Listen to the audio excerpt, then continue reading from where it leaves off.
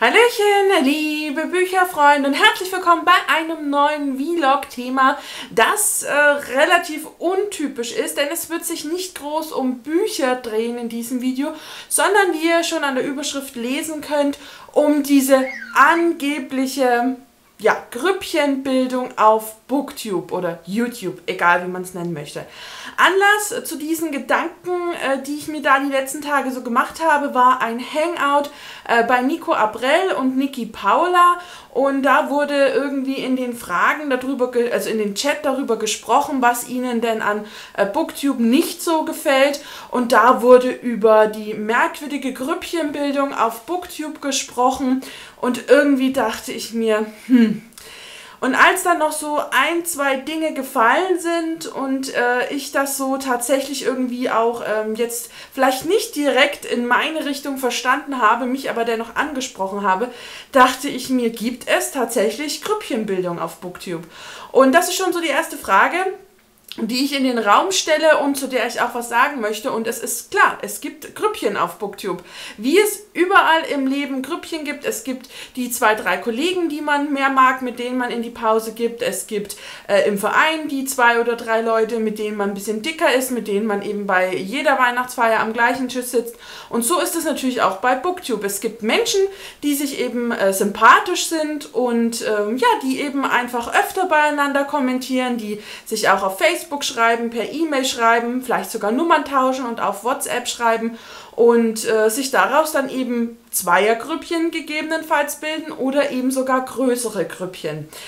Dann so eine Frage, wo ich mir auch so ein bisschen Gedanken darüber gemacht habe, ob ich denn in Gruppen bin. Und ja, auch ich bin in Gruppen. Es gibt einmal ein, eine bayerische Booktuber-Gruppe auf Facebook und in der bin ich und ich freue mich da auch immer auf den Austausch mit den regionalen Menschen, wo man eben weiß, sie wohnen nicht so weit weg und es ist auch immer wunderbar, wenn man die Menschen dann einfach live trifft, die man eben sonst auch nur als Zuschauer hinter der Kamera sieht oder in dem Fall dann vor dem Fernsehen. Und dann gibt es natürlich unterschiedlichste äh, Leseclubs, äh, Bücher, Facebook-Seiten, wo man auch mit dabei ist. Und äh, der Leseclub, der zum Beispiel von Alicia, Phil und mir gegründet wurde, ist ja im Grunde auch ein Grüppchen. Denn wir drei haben es uns ein bisschen zur Aufgabe gemacht, unseren Sub äh, endlich mal äh, ja, da ranzugehen und Subbücher zu lesen und am besten natürlich Subbücher zu finden, die uns alle drei ansprechen und haben da natürlich den äh, Leseclub dann gegründet, um dann eben zu sagen, ja Mensch, vielleicht gibt es noch andere, die den auf dem Sub haben, wer will noch mitlesen und das ja wirklich auch so in dieser großen Gemeinschaft jetzt einfach äh, ja schon ein paar Mal gemacht haben und äh, ja, das auch einfach Spaß macht, sich auszutauschen.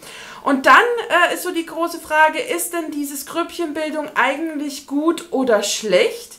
Und da muss ich eigentlich sagen, dass ich das gut finde. Denn Grüppchenbildung bedeutet immer, dass sich Menschen gefunden haben, die sich mögen und die gerne Zeit miteinander verbringen, egal ob es die persönliche Zeit ist, die man bei einem Kaffee verbringt oder eben indem man sich einfach per WhatsApp austauscht, was natürlich bei den Kilometernzahlen, die manche voneinander entfernt liegen, gar nicht anders geht. Und äh, da entstehen dann natürlich unter Grüppchen, die zu Beginn vielleicht zum Beispiel eine Wichtelgruppe waren, entstehen dann eben eben auch Freundschaften. Und das ist der große Punkt, äh, worauf ich eigentlich auch so ein bisschen äh, hinaus möchte, dass eben nicht jede vermeintliche Booktube-Gruppe die dann auch noch angeblich andere ausgrenzt und andere nicht reinlässt, eben gar keine Booktube-Gruppe ist. Und ich bin sehr stolz darauf, dass ich in diesem Freundeskreis aufgenommen wurde und ein Teil dieser Freundschaft bin.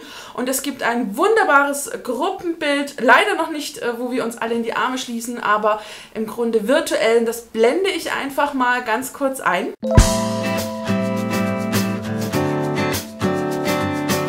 Und wir sind eben keine Booktube-Gruppe. Wir sind alles zufälligerweise Booktuber, die sich auch durch Booktube kennengelernt haben. Wir sind aber einfach im wahren Leben nun Freunde. Und wir reden über alles, was uns irgendwie betrifft, ganz egal in welche Form, ob es die Arbeit ist, andere Hobbys sind, ob es äh, Freunde sind, ob es äh, DVDs sind, die wir geguckt haben, Filme, wir haben uns über Game of Thrones ausgetauscht und natürlich auch Bücher, aber wir sind mittlerweile so weit weg von einer Booktube-Gruppe, wie es eigentlich gar nicht anders sein kann, weil wir einfach, ja, Schwestern im Herzen sind und uns einfach unglaublich mögen, uns unglaublich sympathisch finden und so viel austauschen, dass da das Thema Buch eigentlich fast schon nur noch nebensächlich ist.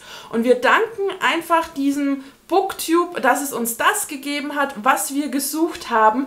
Und äh, das ist eben so dieses Gefühl, man ist ja auf Booktube, um sich auszutauschen über Bücher. Ganz egal, ob man jetzt tatsächlich aktiv wird und ein Booktube-Video dreht oder eben als Zuschauer auf die Suche geht nach Leuten, denen, die, die man sympathisch findet, unter denen Kommentare man dann auch unter den Videos da lässt. Und wenn man ja, als Booktuber natürlich noch Kommentare da lässt, dann wird natürlich auch ein Kontakt daraus. Und man darf einfach nicht vergessen, und das ist das, was mir wiederum so negativ aufgestoßen hat, sowohl im Chat wie auch beim Hangout, dass Freundschaft einfach Zeit kostet. Es ist nicht einfach so, dass wir da Mädels sind und wir schreiben uns äh, dreimal in der Woche und wie geht's dir, mir geht's gut, danke, sondern wir in investieren in diese Freundschaft, damit aus diesem kleinen Pflänzchen eben eine wunderbare Blume wird, die blüht und von der wir alle etwas haben. Und mich regt tatsächlich dieser ganze Neid, diese ganze Missgunst, die es darum herum gibt, dermaßen auf, dass ich mir wirklich in den letzten Tagen Gedanken gemacht habe, was denn eigentlich der Grund ist, warum sich darüber aufgeregt wird. Und es gab dann noch einen weiteren Hangout, den ich nicht persönlich gesehen habe, wo mir aber von zweiten und dritten Menschen erzählt wurde, die gar nicht innerhalb unserer Gruppe sozusagen sind, unseres Freundeskreises sind, äh, dass die gesagt haben, hey, ich glaube, in diesem Hangout, in diesem Video ging es um euch, ich habe mir das angesehen, ich fand die Bemerkung so schlimm und habe abgeschalten. Und äh, ja, das wird an einen herangetragen und man fragt sich, was ist da nur los? Und es kommt eben auch ganz oft von Menschen, die äh, ja, sich scheinbar nirgendwo zugehörig fühlen, warum auch immer, man sich aber einfach denken kann, woran es liegt. Es gibt sehr interessante Beispiele, dass äh, zum Beispiel Leute sagen, hey, warum wird bei mir so wenig kommentiert? Und man dann irgendwie ins Gespräch kommt und dann sagt, und wem guckst du denn auf Booktube aktiv? Ja, ich gucke eigentlich niemanden und ich kommentiere auch niemanden. Und dann denke ich mir, warum erwartest du dann, dass andere Leute dich gucken und bei dir kommentieren? So funktioniert das Spiel eben einfach nicht. Es ist eine Community aufzubauen und eine Freundschaft zu haben. Das ist immer Arbeit. Man muss und das ist wirklich ein Muss. Wenn man Kontakt, Austausch und Regen austauschen möchte, muss man eben zu einem anderen Booktuber auch hingehen und mal kommentieren. Man muss die Videos gucken, man muss sich über die Videos austauschen und nur dann kann etwas zurückgeben. Und dass äh, wir in unserem Freundeskreis absolut niemanden aufnehmen und hier wirklich sagen, oh Gott, das geht nicht, wir, wir wollen niemand Neues und wir hegen auch keinen Kontakt zu anderen. Das ist einfach ein absoluter Widerspruch. Es gibt genügend Beispiele, wo ich sage, da gibt es genauso äh, tolle Gespräche mit anderen. Also es ist nicht nur so, wie wenn unser, unsere vermeintliche Gruppe, die hier wahrscheinlich aus irgendeinem Grund, den ich persönlich nicht verstehe, Anstoß äh, findet, äh, dass wir hier als einziges untereinander klicken und kommentieren und keinen sonst mehr. Das ist einfach nicht so. Wir sind auch bei anderen Leuten Leuten aktiv. Und das beweisen andere Kommentare bei anderen Booktubern. Es beweist, mit wem man sonst noch über WhatsApp Kontakt hat, wem man auch mal live trifft. Das müssen auch gar keine Booktuber sein. Es gibt auch äh, Zuschauer, mit denen ich persönlich im regen Kontakt stehe und einfach sage, hey, ihr wohnt nicht weit weg, lasst uns mal irgendwas zusammen machen. Oder wenn dann eben die bayerischen Booktuber-Treffen sind, hey, wie können wir im Zug zusammen irgendwie hinfahren, damit keiner allein unterwegs ist? Und das ist einfach was, was mich tierisch tatsächlich nach diesem Hangout aufgeregt hat und dann eben auch einfach Thema in meinem Kopf war, obwohl ich Urlaub habe und mich nicht aufregen wollte. Und jetzt einfach dachte, es muss jetzt einfach mal raus. Dieser ganze Neid und diese ganze Missgunst geht mir persönlich wirklich tierisch auf dem Keks. Und dass eben Leute denken, sie bekommen eine Freundschaft, eine Community, ohne irgendwas zu machen, ohne bei jemand anderen mal zu kommentieren. Und wenn es dann heißt, ja, neue Booktuber, die guckt ihr gar nicht, die bekommt ihr gar nicht mit. Hey Leute, auch ich habe irgendwie noch ein Leben außerhalb vom Booktube und kann nicht jeden Booktuber entdecken und jedes Video mir angucken das schaffe ich selbst bei den Leuten nicht, die ich gerne habe. Auch da muss ich natürlich Abstriche machen im Video schauen, weil der Tag hat leider nur 24 Stunden und es wird jedem von uns so gehen, der arbeitet oder studiert oder dann eben äh, ja vielleicht Mutter ist und sich auch einfach mal, wenn man wenn man äh, sich um seinen Haushalt kümmern muss, es kommt alles dazu. Man hat eben doppelt dreifach Belastungen und da kann man leider nicht 24 Stunden YouTube schauen. Das ist tatsächlich so. Aber wenn jemand neu ist und das ist vielleicht ein Tipp an alle neuen Booktuber, dann kommentiert bei denen, wo ihr euch Kontakt wünscht. Denn nur durch Kontakt, durch Kommentare merkt man auch, oh, da ist jemand. Und dann kommt man ins Gespräch und dann kommt der Austausch. Und wenn bei mir jemand kommentiert, dann gehe ich auch mal auf diesen Kanal. Vielleicht nicht gleich in der nächsten Stunde, aber und ich weiß, dass das ganz viele so machen und gerade die Alteingesessenen tatsächlich, glaube ich, äh, viel so handhaben. Und dann guckt man sich eben einfach um. Und wenn einem dann der wieder oder die wieder sympathisch ist, dann lässt man ein Abo da und kommentiert. Und so kommen immer neue Kontakte zusammen. Und es gibt so viele positive Beispiele, dass dann eben auch neue und ähm, ja, frische Booktuber bei mir Erwähnung in den letzten Wochen gefunden haben, dass ich sage, dass das passt einfach nicht. Und warum immer nur alles negativ sein muss und negativ äh, besprochen wird und nie auch mal was Positives erzählt wird. Was dann ja wiederum äh, die Konsequenz hat, zum Beispiel gab es ein, äh, ein Video vom lieben Phil, der hat äh, mit Carina, das beides relativ neue Booktuber, die haben beide eine ganz coole Idee von Booktube Live in die Welt gesetzt und da hagelt es von den alteingesessenen Booktubern tatsächlich Kritik weil irgendwas vielleicht an der Formulierung nicht richtig war bei Phil oder weil sie es einfach falsch verstehen wollten oder weil es vielleicht auch nicht ihre Idee war. Und da habe ich mir dann auch gedacht, Leute, jetzt haben wir hier junge, frische Booktuber mit einer genialen Idee, die ich wirklich klasse finde und denke mir, genau, jetzt machen wir die auch wieder schlecht. Und das ist so, wo ich dann auch dachte, ich verlinke euch die tolle Aktion einfach mal auch in die Infobox, wo ich mir einfach dachte, ich verstehe nicht, woher dieser ganze Neid kommt und warum Leute, die eine Community wollen, nicht einfach was dafür tun. Weil gerade die, die am lautesten schreien, äh, da kann ich sagen, da gab es vielleicht ein, zwei Kommentare bei mir oder auch bei den anderen und man fragt sich, ja, und du erwartest jetzt, dass ich zu dir komme und ähm, Nee, so funktioniert das Spiel nicht. Es ist eben ein Geben und ein Nehmen und auch wenn ich möchte, dass sich eine Freundschaft aufbaut, dann muss ich natürlich auch was dafür tun. Natürlich merke ich ja dann relativ schnell, ob der andere genauso tickt wie ich und das sich genauso wünscht oder nicht. Und na, das spürt man doch, also zumindest ab einem gewissen Alter vielleicht. Aber ah, einfach nur schrecklich. Ich äh, kann es einfach nicht nachvollziehen und ich verstehe nicht, woher wirklich diese, diese ja, teilweise Bösartigkeit kommt, die es in letzter Zeit gibt. Denn es gibt genügend andere Booktube-Gruppen, YouTube-Gruppen, wo ich nie mitbekommen habe, dass da negativ drüber gesprochen wird. Und über die regionalen regt sich ja auch niemand auf, warum denn die Bayern nicht mit die Hesse oder mit äh, die Baden-Württemberger oder den Sachsen oder den Thüringern, warum es da keine Mischung oder so gibt. Auf die Idee kommt doch eigentlich niemand.